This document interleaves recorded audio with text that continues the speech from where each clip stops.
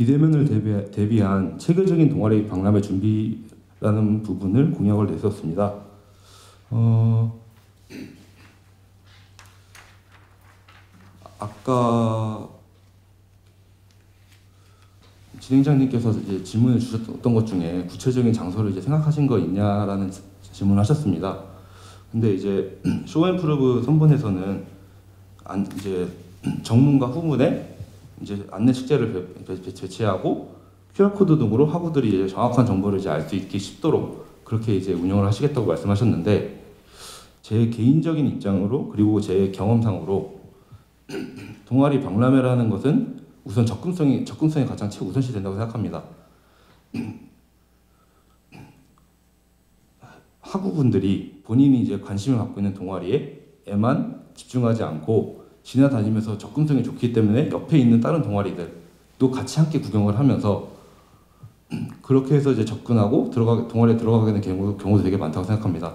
저 같은 경우도 다른 동아리를 박람회 박람회 참여해서 다른 동아리를 보려고 하다가 어, 검도부에 들어가게 되었는 이제 구경하다가 검도부에 도- 들어가게 되었는데 이런 접근성인 부분에서 떨어진다면은 QR 코드로 안내 안내만 한다면은 그 부분에서는 다른 동아리들 이 주목받지 못하는 경우도 있을 것 같아서 어떻게 생각하시는지 여쭤보고 싶습니다.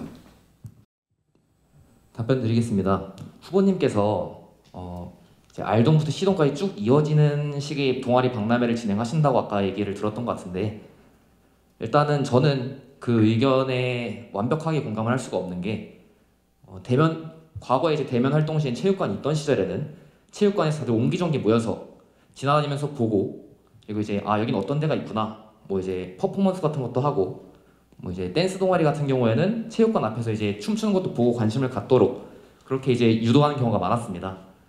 그런데 일단 22년 동아리 박람회가 열린다면 3월 중순에 열릴 것이고 그리고 동아리 박람회를 오프라인으로 하는 특성상 뭐 축제 준비도 마찬가지고 부스를 지키는 사람이 항상 있어야 될 텐데 22년 3월에 그때 22년 3월이면 날씨가 아직 다 풀리지도 않았고 그리고 그걸 이제 또 강제적으로 어, 강제적으로 많이 취소하겠습니다. 당연히 한 명 이상의 사람이 이제 부스를 지키고 있어야 하는데 그 부분에 대해서까지는 생각을 해보셨습니까? 답변 드리겠습니다. 원래 동아리 박람회를 진행을 체육관에서 진행을 한다면은 이제 바닥에 따로 추가 작업을 하는 업체를 이제 계약을 합니다. 그것처럼 천막을 이제 깔 수 있는 그런 업체들 업체에 이제 계약을 해서 이제 히터 같은 것도 추가 배치하고 그런 식으로 이제 동아리 측 동아리 입장에서 박람회를 운영하기 최대한 용이하게 할 수 있도록 그런 식으로 생각을 해봤습니다. 그리고 R동부터 C동까지 야외에 만약에 모든 동아리들이 다 배치가 돼 있다면은 원래 박람회는 체육관을 직접 가야지 박람회를 구경할 수 있었습니다.